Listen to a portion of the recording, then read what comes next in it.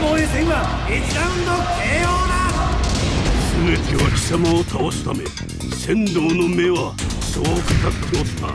今仙道は怪物になりつつある。そうしたのは貴様じゃ。重田がなんぼのもんか知らんが。そないに心配やったらタイトルマッチのチケット送ったるわ。少しは進歩したわいが。見られるで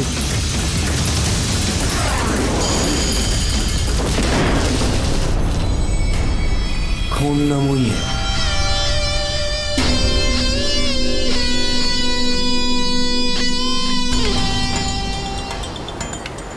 よく見ててくださいよ。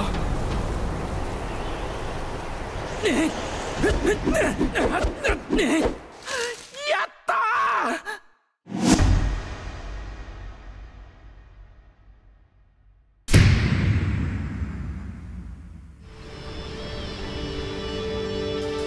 震えが来るんや。ごっつ強い相手とどついてどつかれて勝つ。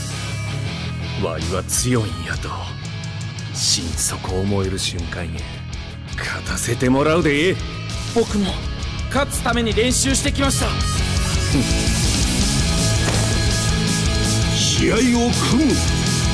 相手はフェザー級チャンピオン仙道武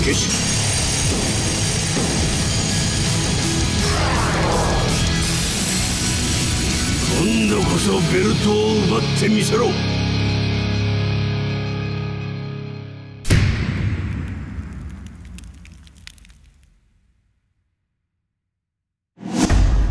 戦うための条件は全部揃ったと思う。